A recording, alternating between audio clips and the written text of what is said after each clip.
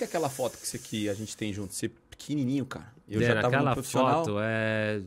A gente tem uma foto dele, ele pequenininho, 90, cabelinho, cabelinho 90, assim de tigelinha. 97, é, né? assim. É, eu tava começando ali também. De, de eu subir profissional e o Denilson era uma referência pra gente da categoria de base, porque ele... É, os sócios, na época, o pessoal que morava na concentração podia Sim. vir brincar na quadra, né?